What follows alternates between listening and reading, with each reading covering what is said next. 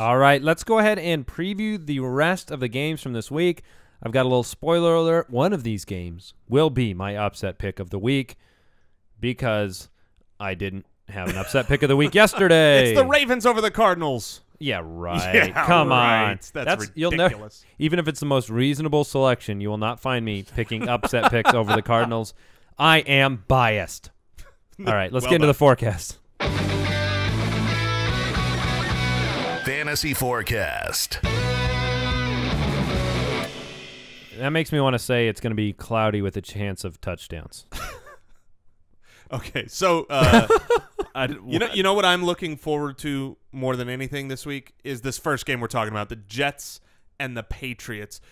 After Monday night, last Monday night debacle game of garbage football, and last night's game of just garbage football, I'm really looking forward to a game with two great teams going head to head. So I'm excited. I'm really genuinely excited to watch this game from both a real football standpoint and a fantasy standpoint. Uh, very high uh, point total in this game, as you might expect with the Patriots offense. However, I you know it's not my upset pick of the week. I'd love the Jets to win the game. I think it'd be great. I love Todd Bowles coming out of Arizona. I like Ivory. I like Marshall. I like Fitzpatrick. I like what that team is doing. My my thought process here is I'm, I'm going to drop a stat on you. I, I heard this from John McClain actually of the Houston Chronicle, I believe. of Die Hard Uh, no, every time I bring up John McClain, the reporter, you bring up Die Hard, and it's just because that reasonable, guy, very that- reasonable. That man should have to legally change his name. There is only one Look, John you're, McClane. you're you're distracting me from the statistic. Sorry. Ryan Fitzpatrick, when he's thrown, I believe, 30 or less times for the Jets, they've won every single time. That's what all their wins this year have been that situation. Lean on Ivory, make the right throws, generally to Brandon Marshall and Eric Decker, and you win the game. Defense, play defense. The game he had to throw 47 times or whatever it was, they they got beat, and that was against Philly. If the Patriots do what they do, which is score points against every single team in the league, no matter who they are, there's going to be an issue for Fitzpatrick having to come out. Now he can come out and catch fire and be okay. He's got really good guys to throw to. That being said, I just don't think it's going to be enough this week. I should it should be a great game. It'd be neat to see. Let's talk fantasy. Who's the guy that you're most concerned about in this game? Where the Jets are a really good defense. They uh, are second against the pass, second against the run. They're you know other than Denver, they've been really kind of one of the pinnacle defenses this year and a playmaking defense. Darrelle Revis. So the the only player that I'm concerned about this week, and I would still start him, is Dion Lewis. Uh, we saw last week with the he has a an abdominal injury, which that's that's if you have an abdominal injury, I mean you can't do very much at all. That's a that's a very limiting injury, and it sounds like it's still lingering around. Uh, and and will he get the workload? Is the other question. Legarrette Blount had a great game. That was a was that just matchup dependent, or are the Patriots saying, okay, we're going to get Legarrette Blount more involved? I will say this.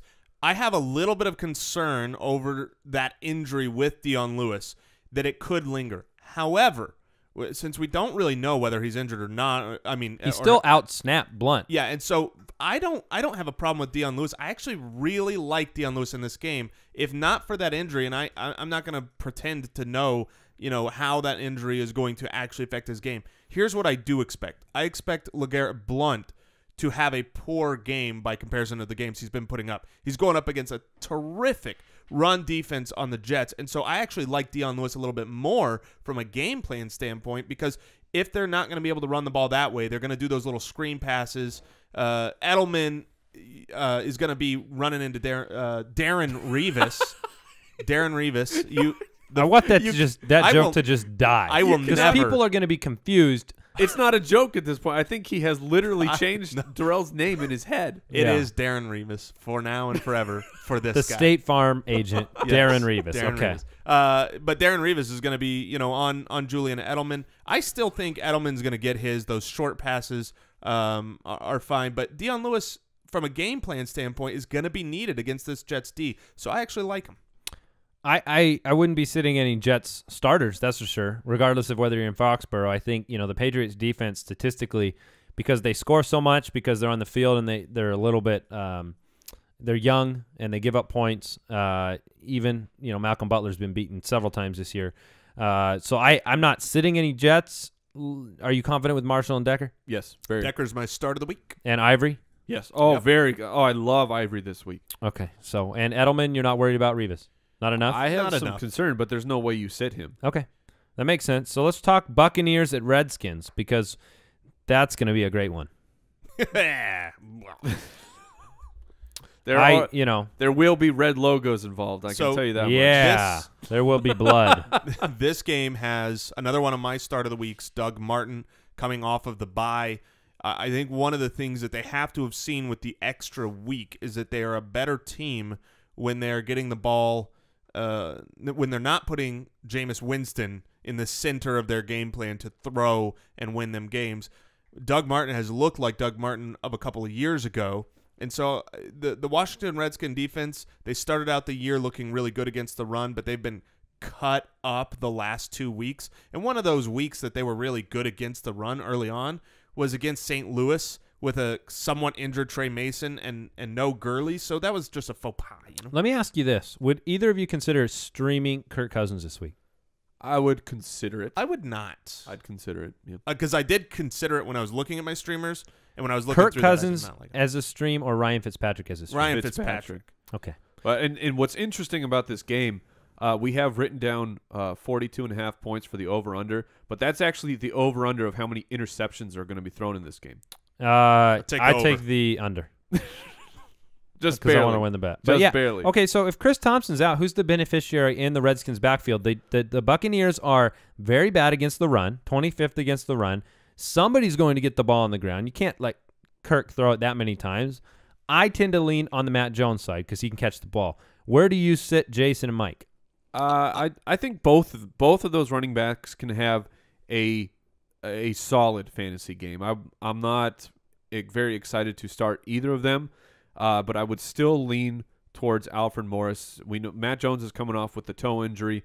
Uh, he could be back to 100%, but toe injuries are like a calf injury. It's just it doesn't take very much to re-aggravate that thing, and then he's out. But uh, and and they the team still believes in Alfred Morris, uh, from what I've seen. Yeah, with the expected game flow, I mean, in a low scoring game with two kind of poor offenses, if Chris Thompson was around, I wouldn't expect him to be needed much the way that, you know, the Redskins have been down. So here, I, you know, when I think low scoring games, I think Alfred Morris.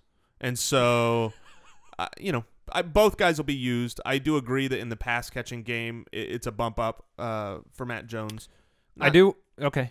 All right. And what Yeah, about what about Evans and Evans and VJ? Any wide receivers really? Evans, VJax, I'd start Evans over VJax. uh, Jamison Chowder, uh, Pierre Garcon. Jamison Crowder.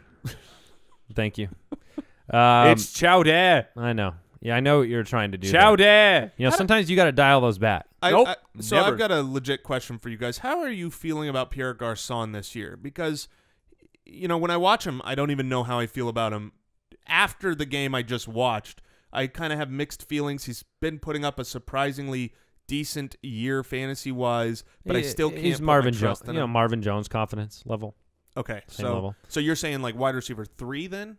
Two, three bubble sometimes. Certain Yeah. weeks he's going to be in that two category because of bye weeks. But yeah, I wouldn't wouldn't love to play him. I'd be okay flexing him or something. And so Evans, VJax. Give me some thoughts. Uh, for me, you know, Evans is the more talented guy that they need to get involved in the passing game.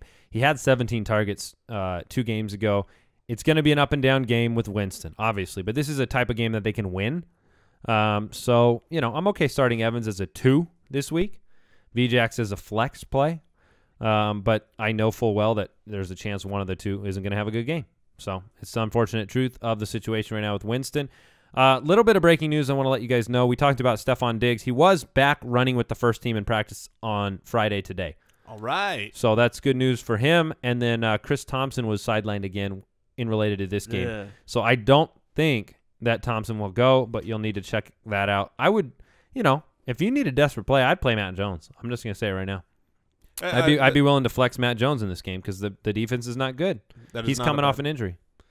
Um, so could be, you know, we'll see. Uh, let's go ahead and talk about the Falcons facing off against the Tennessee Titans. Is this the game that Julio kind of comes back around because he hasn't scored in a little while?